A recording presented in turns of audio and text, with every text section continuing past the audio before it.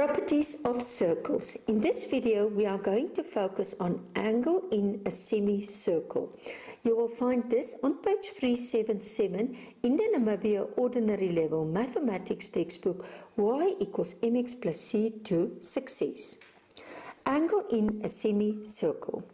In the diagram, AOB is a diameter, there's the diameter, of the circle with center O. Then angle AOB AOB at the center, it's a center, angle at the center of the circle, and angle APB at the circumference, angle at the circumference of the circle. So, if you can remember the previous video, the angle at the center is twice as big as the angle at the circumference. So, if this is a straight line and this is 180, then this I can take this 180, divide it by 2 to get that 90. So since angle is a semi-angle, APB is called angle in a semicircle. Okay, because that divides the circle into two parts. Now, um, APB, APB is equal to half AOB. A, O, B. So that's how I arrive at the 90. So thus we have the following theorem. An angle in a semicircle is a right angle. So the angle in the semicircle, so this is the semicircle, there will be a right angle. Okay, let's move on. So in this diagram, AOB is the diameter of the circle, then APB, APB will be 90. Straight line, if I take 180, divide 2, it's 90. Let's look at this example. In the diagram, AD is parallel to OC. So AD is parallel to OC. Okay, so AB is a diameter. AB is the diameter of the circle with center O. And angle OCD, OCD is 58. Find angle BOC, BOC. Okay, so this is the angle I must find. So in this case, I'm just going to start um, by looking at this. So the first thing is angle ADB. I just want to get a pen. ADB. So there's the diameter, there's the angle in the semicircle. So that one is 90. Okay.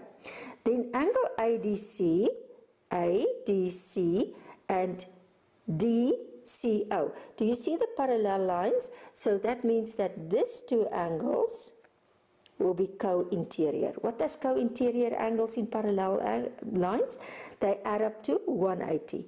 So if I want to find this one, ADC, I can just take the 180 and subtract that 55. So that will be 125 for that green big angle there. But I'm interested, I'm interested in that one there. Do you see? So I know this is 90. How do I get that 35? I'm just going to take the 125, subtract that 90, and that's how I arrive at the 35. Okay. And now, if I look here, um, let's just see. I want to show you the lines. I think it's going to help you. So, if you look, if I take it from there, mm, just want to get straight lines. Do you see? That's angle at the circumference. Do you see from the same points that is angle at the center. So this, if this is 35, this one will at the center will be twice as big, 35 times 2, which will give me 70 degrees. Okay. Um, I want you to stop the video and I want you to do try now 22. I just want to clean here. Do for me just number 1. You can continue the video as soon as you are finished. Okay, let's start with this one. In the diagram, again parallel lines. KL and NM. KL is the diameter of the circle with center O. And angle KON, KON is 54. Okay? Find angle KLM. KLM. So they want me to find that angle there. Okay, but let's start. Um, if I want, uh, first what I'm going to do is I'm going to find this angle.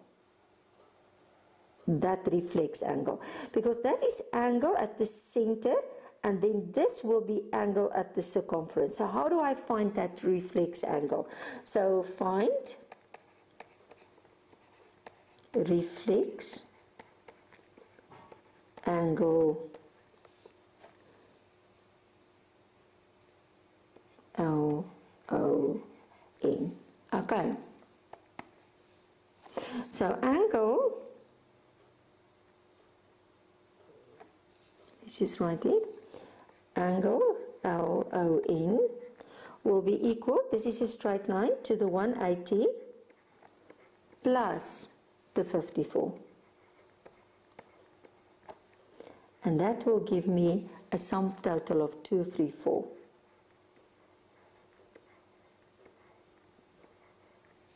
Two, three, four. Okay, so find angle KLM. Okay, so now as soon as I find this, so I'm now going to say that this angle, so therefore, so therefore, angle L, let's just give on 2 LM in, 2 LM in, you can say 2, that's that angle, 2 LM in is equal to angle Dus dat reflex LON. So if I want to find angle LMN,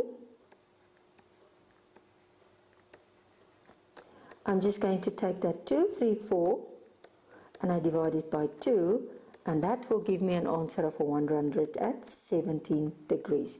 Okay, so this one is 117 and that one was 234, the green one. Okay, and now what do I want? I want KLM. So K, uh, the blue one, KLM. But do you see that that lines are parallel? So it's also co-interior angles. So co-interior angles,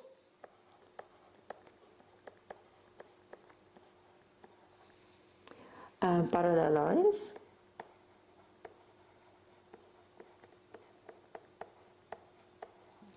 So angle uh, co-interior parallel lines add up to 180, a supplementary. So angle K, KLM is going to be equal to 180 minus that 117. And that will give me an answer of 63 degrees. So that blue one, I should have made it blue, it will be 63 degrees and that's how. So always use your other geometry also. As soon as you see parallel lines think of all the properties of parallel lines. And then also think of the properties of a circle because it's inside a circle